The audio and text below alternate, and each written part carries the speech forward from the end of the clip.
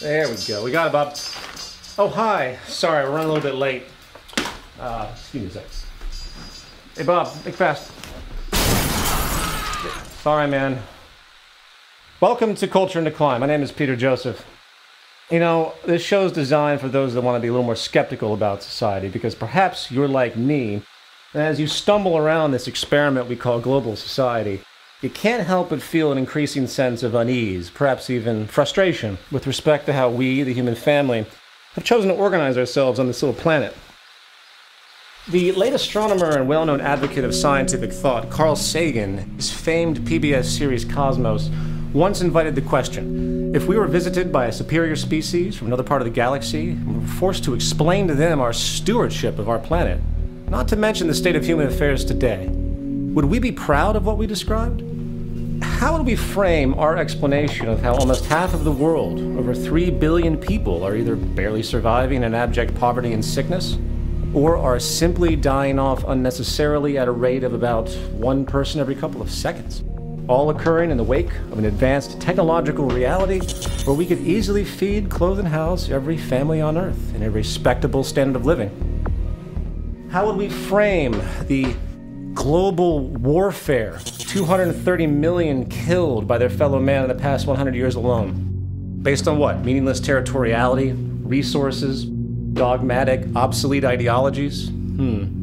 Again, this all occurring in the shadows of a looming scientific recognition that we are indeed simply one family sharing one household, bound by the exact same laws of nature and hence the same unifying operational ideology. How about our economic system? The bedrock of what defines our society, not to mention our dominant motivations. How would we explain the reality that rather than organizing ourselves efficiently as a single system to properly manage this household we share, we childishly divide and compete and exploit each other through an archaic, completely environmentally decoupled game? A game, by the way, which not only appears to perpetuate a vast spectrum of social atrocities, but now seems to be further destabilizing society, decreasing our public health. Sorry to say, as an individual, I really don't care what you believe, nor do I particularly respect it. Why? Because I don't really respect what I believe either. There's no evidence to show that any of the traditional values, establishments, or social structures, common practices we have today will be relevant tomorrow. The only thing that appears to stand the test of time is this very notion of change, the ever evolving understanding of ourselves and the world we inhabit. Perhaps some might think that that's actually the definition of human intelligence. What do you think about that? Less about what we know, more about how vulnerable we are. So when you look out your window, ask yourself do you see intelligence or do you see dogma? Do you see a culture listening and working to realign itself with the ever emerging natural orders as they unfold? Or do you see desperately stubborn efforts by many, particularly those in positions of power, trying to keep everything the same to the detriment of the entire human experiment. You know, like you, I might be only one member of this family that is now 7 billion strong. And like most families, yeah, sometimes it's hard for us to agree. But sometimes things get so bad, we need serious intervention. The following series is that intervention in the hope to salvage what is clearly a culture in decline.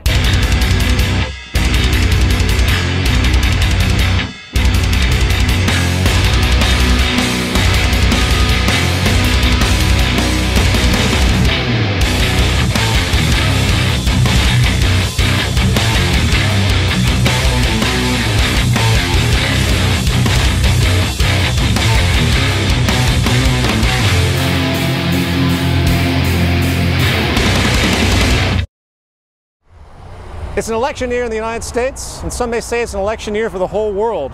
Still the dominant empire, the United States political system has spent roughly $25 billion in the past decade alone. An amount of money, if averaged and distributed annually, could house and feed every homeless person in America, effectively ending the epidemic. Perhaps like me, by the end of this program, you'll find that money would be better well spent. Be that as it may, the 2012 presidential election is gearing up to be one of the most expensive and ostensibly important elections of all time, given the ongoing debt crisis, the unemployment crisis, and the vast destabilization we see across society. However, I'm not particularly interested in the left or the right, or am I interested in any candidate's political merit? What I'm interested in is the entire idea of global democracy in the tradition as it exists and how it is blindly accepted by the vast majority of people on this planet as being the only option to satisfy their interests and create good well being and hence societal management in its optimum state. That's what interests me. So, rather than debate about who should be the next president, why don't we step back and consider some broader issues, such as, oh, I don't know, maybe why we even have a president to begin with? What is this, medieval feudalism? I thought the days of kings, dictators, and giving one person enormous power was coming to an end. Or, more generally, doesn't it seem a little absurd to claim a participatory democracy when the public itself actually has zero say when it comes to the actual decisions made by those elected? It's bad enough that those voted in have literally no legal responsibility to do anything they might have claimed on the campaign trail. But if you examine history, you will find the historical fact that the public good has always been secondary to other interests mainly financial and business interests. Of course, this is common knowledge now, right? I mean, why did the US government, completely against all known public interest, allow the private banking system, a system which actually creates nothing, to be bailed out to the tune of $13 trillion. You have a $14 million oceanfront home in Florida. You have a summer vacation home in Sun Valley, Idaho. You and your wife have an art collection filled with million dollar paintings. While the public was left out to dry with overflowing private debt, job losses, and a stagnating economy. You know, if we're going to persist with this silly little game we've concocted called the growth economy, where the movement of money defines everything, it might be a good idea to do the math regarding what might actually help this economic system operate at some passable level. Therefore, if you raise taxes on the so called rich, you're really raising taxes on the job creators. And if the goal is private sector growth, you got to recognize that the best way to create that growth is to leave capital in the treasuries of the job creators. If that money spent on the bank bailout was spent on, say, relieving private household debt instead, while letting Goldman Sachs, JP Morgan, and all of the other technically meaningless, non producing financial institutions experience the failure and bankruptcy they deserved, simultaneously nationalizing the entire U.S. banking system as a whole, the U.S. economy might have had a chance. Why? Because banks don't actually contribute anything people with jobs do. You want growth in this type of system, you need jobs. You want jobs, you need demand, and demand requires people having free money to spend. So, by helping the public debt burden, you would plant the true seeds of economic growth. Well, of course, as obvious as that may seem, many forget one thing the bailout had nothing to do with helping the U.S. economy, nor does it or will it work to help any hurting, sovereign economy in the world. Why? Because we live in a plutocracy, not a democracy, and the only true power is actually behind the curtain, not in front. The financial and business powers not only own and control this country, they own and control the whole planet. And no, it's not a conspiracy, it's a value system disorder. As long as a dollar sign is associated with every blade of grass, every plot of land, every fleeting thought or invention, not to mention judging the merit of individuals for their right to life through labor. We should expect nothing less. Since the inception of the state itself, coupled with the underlying power of money as the ultimate driver of human decisions and hence persuasion, the true power has always been financial. And those little people you elect into office every couple of years, they have owners too. And don't you forget it democracy. Is that something you believe in as it exists today in America? Well, when you say as in believe in, does it exist like forest fires or God or uh, the devil? What is your opinion of the American democratic system as it exists? It's broken. It's deeply, deeply broken. Democracy goes, of course, to Greece, and it's the theory that the people own the government. And is it in practice happening in 2012 in this country? Not close. It's a corporatocracy. So, all of this considered, let's now think a little more accurately about this whole democracy deal. Since the tradition of our democracy has to do with representatives elected to apparently do our thinking for us, a critical question becomes where do these people come from? Why are they the ones on your TV and not others? Did you decide that these people are the best choices to compete for such critical leadership? Or have you noticed that the most pronounced candidates, especially the presidential, sort of come out of nowhere and through the media are given credence merely by repetition of exposure? The term democracy comes from the Greek demos, which means people, and krates, which means rule. And so the people of a given society express their opinions through votes, and policy is created by the majority's interest. It appears the process was formalized in ancient Greece and has been adapting ever since. However, it didn't take long for a bit of cynicism to emerge with respect to the process itself, given the fact that the entire basis of the idea assumes that the voting public actually is educated enough to know what they're doing. Franklin D. Roosevelt once acutely stated Democracy cannot succeed unless those who express their choice are prepared to choose wisely. The real safeguard of democracy, therefore, is education. Winston Churchill, on the other hand, was a little less forgiving, stating, The best argument against democracy is a five minute conversation with the average voter. And of course, the infamous Mark Twain jumped to the inevitable punchline, stating, if voting made any difference, they wouldn't let us do it. I would like you to ask yourself if we were in the ruling class, the investment ownership class, to paraphrase Thorstein Veblen, and we wanted to preserve our interests against any interference, what would we do? Well, first we need to take the broadest possible view we can we need to make sure the voting public is as uninformed as possible regarding relevant issues that might contradict our establishment's practices. Coupled with that, we also need to eliminate as much independent, logical, causal, scientific thought as possible. So, let's support an extremely underfunded, outdated, and deprived public educational system. A system focused on merely getting a person a job one day not teach them how to critically and logically think. The heart of democracy really is the basic assumption that the public is well educated about critical thought, they know how to think about things and evaluate, and therefore they can make proper decisions, right? What is your opinion on American education and its, hence its effect on the democratic process? I think that you know we have multiple problems in the education in America. One, I think we're dealing with the dumbing down of America. And do you feel that this sort of poor educational system actually benefits the establishment? Oh, absolutely. Absolutely. Keep them stupid, keep them easily entertained. If they're uninformed, they can't fight back. However, to further reinforce this, we also need to push and reward belief systems that support passive obedience.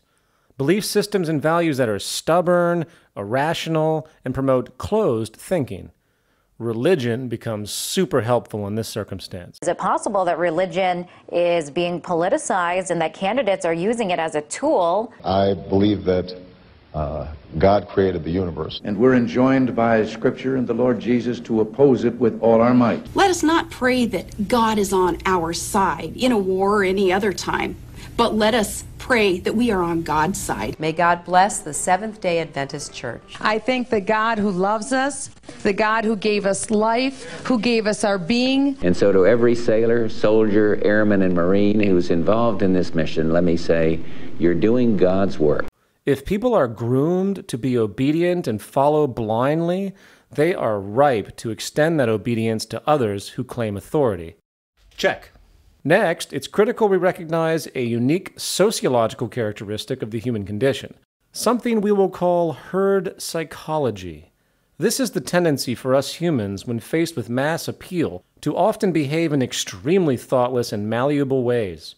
In the words of Charles Mackay, famed author of Extraordinary Popular Delusions and The Madness of Crowds, men, it has been said, think in herds. It will be seen that they go mad in herds while they only recover their senses slowly and one by one. However, this doesn't just apply to, say, a soccer riot. Such mob persuasion can be generated through simply shared cultural events. Remember September 11th? Talk about mass insanity. This event created an immediate crowd madness with fear and revenge. And it didn't take long for the US government and other governments, in fact, to harness that madness and funnel support for draconian legislation and illegal invasions. However, this herd psychological tendency is not only very useful for implanting and guiding perceived issues of importance, it is also critical in setting rigid limits of debate creating the tendency for those who begin to question beyond those limits to be ostracized and rejected by the herd itself. You know, if someone talks about a more equitable distribution of income in society, all the growth that has occurred in our country over the last decade or more has gone to the upper 1 2%. Fucking communists. If someone speculates about the obvious power manipulation and corruption God damn it, I am so sick of these conspiracy theorists and their lies. The Federal Reserve does not collude for its own self interest. And heaven forbid we get those do gooders who want to actually apply modern scientific knowledge and improve society with it. yeah, right. Feed, clothe, and house everybody on Earth with technology? Utopian jackasses. Remember, Probably the greatest way to control human thought is to establish a deep fear of social rejection and associate that fear to culturally taboo subjects. So, that groundwork in motion, we now have to deal with the pesky problem that the public just might wise up enough and work to maneuver a person into political power that will cause us problems. Therefore, some more specific structural safeguards are in order. Basically, we need to make sure those unwanted candidates are unable to get anywhere near the major outlets for public digestion. And if they do, the practice is to treat them like freaks. Are you suggesting that heroin and prostitution are an exercise of liberty? What you're inferring is, you know what? If we legalized heroin tomorrow, everybody's going to use heroin. How many people here would use heroin if it was legal? How do we do that? With money and our corporate constituency has plenty.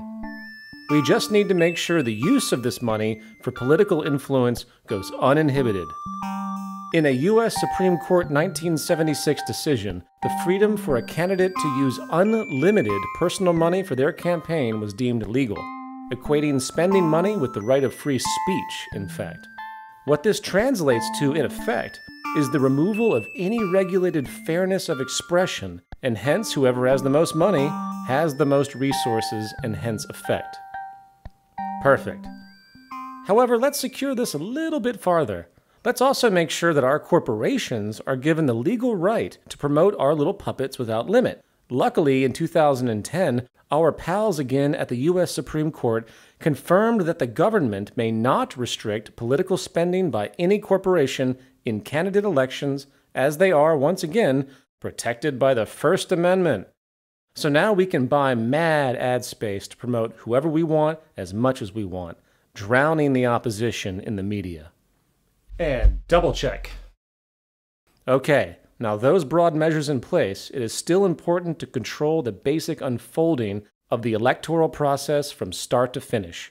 The best way to do this is to create a false duality, the illusion of competition between parties. We need a two party system that constantly argues with each other in general, but still upholds the basic elitist policies we need to maintain our advantage.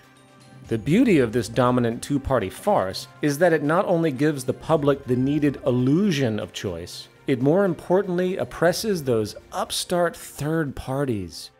As we know, these annoying self righteous third parties have been troublemakers from day one.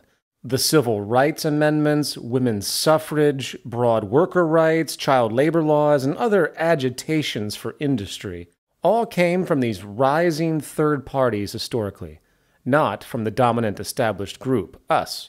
So we need to be vigilant here. We need to get the public so used to this two party dictatorship that they don't even mind if the two parties are given direct control over most of the electoral process itself. They need to have the power of organizing the rules of electoral redistricting, the primaries, the caucuses and debates, and of course, we, the ruling class, will moderate their actions through lobbying, campaign contributions, you know, exactly what the free market promises the freedom to manipulate everything. So meet our friends, the Commission on Presidential Debates, or CPD. In 1988, the Democratic and Republican parties, or the Demo-Publicans as I like to call them, established the Commission on Presidential Debates.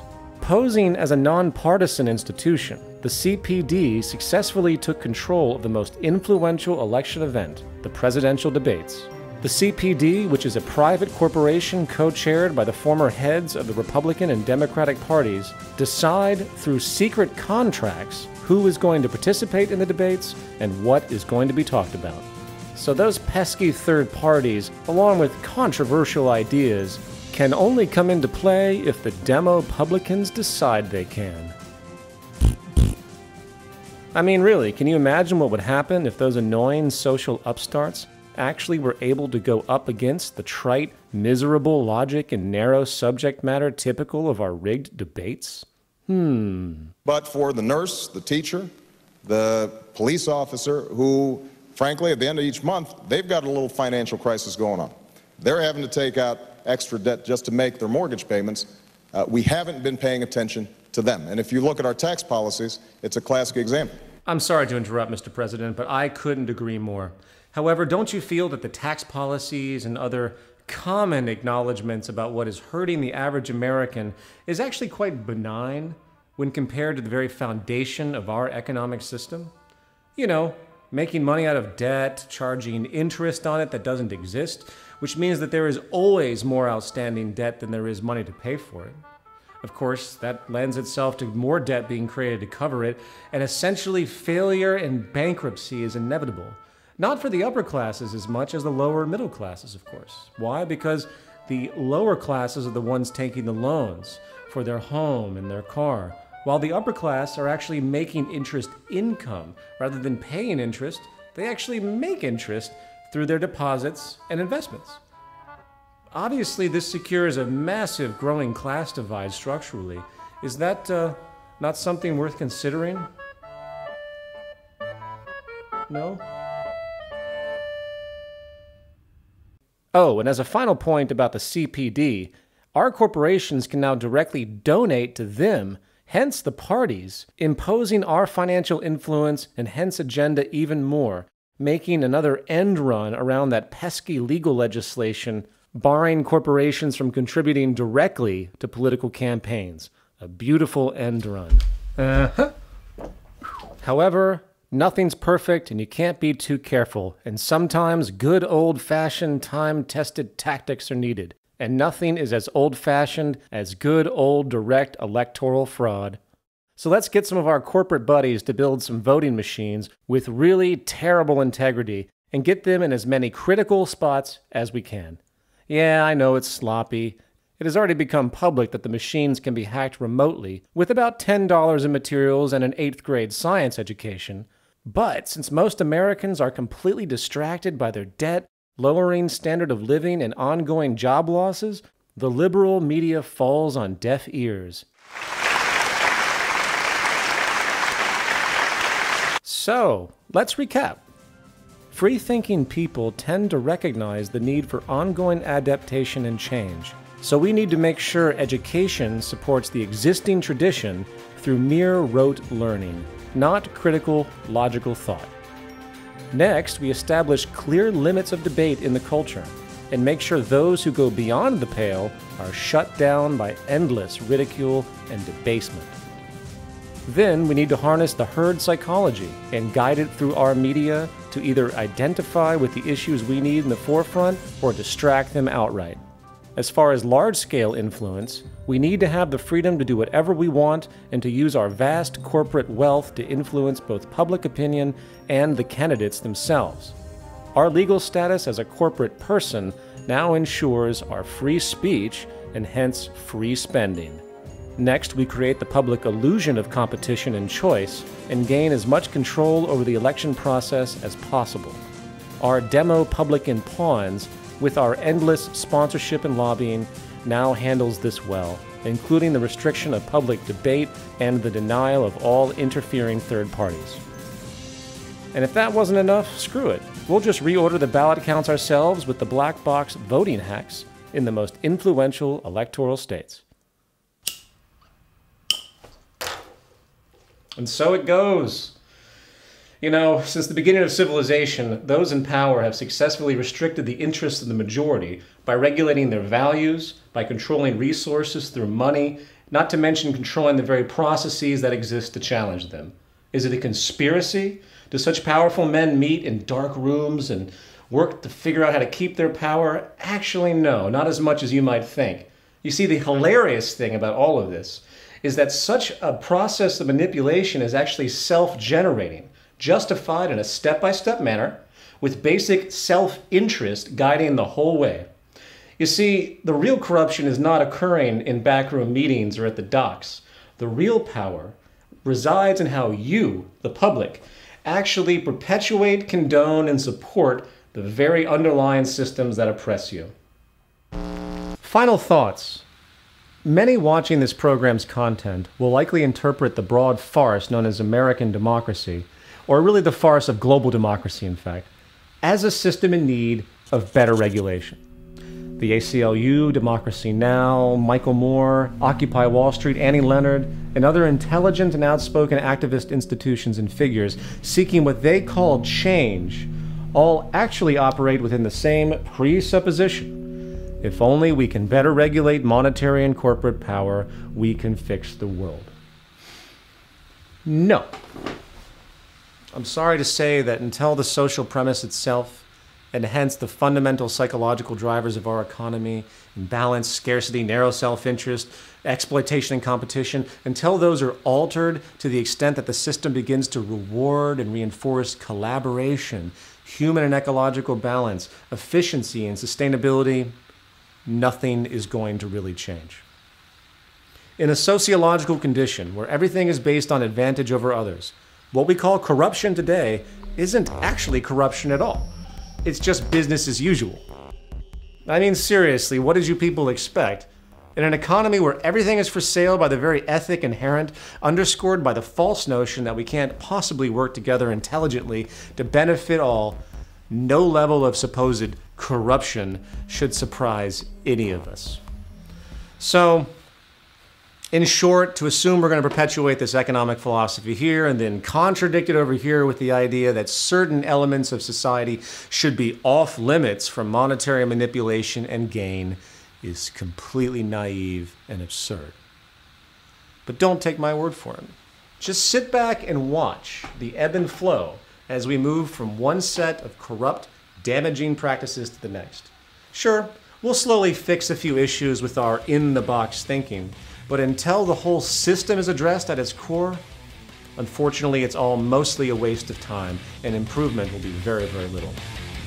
And until we grow up to that level, sit back, relax, enjoy the show, and until next time, I'm Peter Joseph, an agent and victim of a culture in decline.